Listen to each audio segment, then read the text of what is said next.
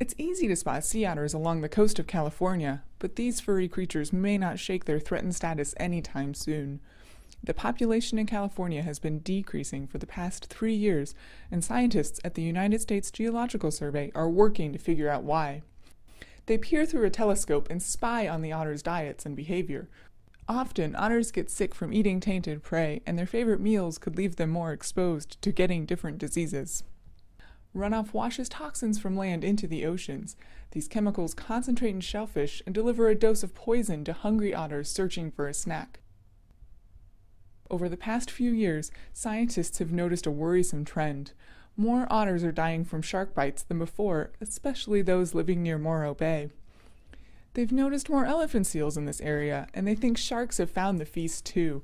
These toothy predators could be patrolling the waters close to shore and biting anything that's the size of a baby seal, including otters.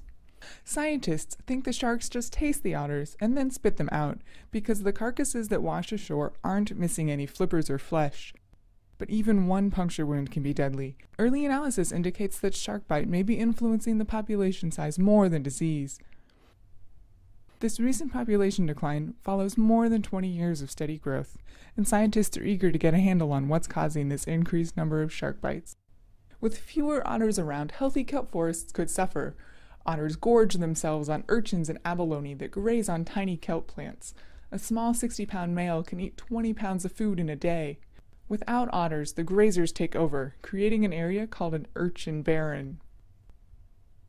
Shark bite is just one factor contributing to the declining otter population. The best way to protect otters, scientists say, is to clean up toxic runoff flowing into the ocean. And that'll make the ocean a better place for us, too.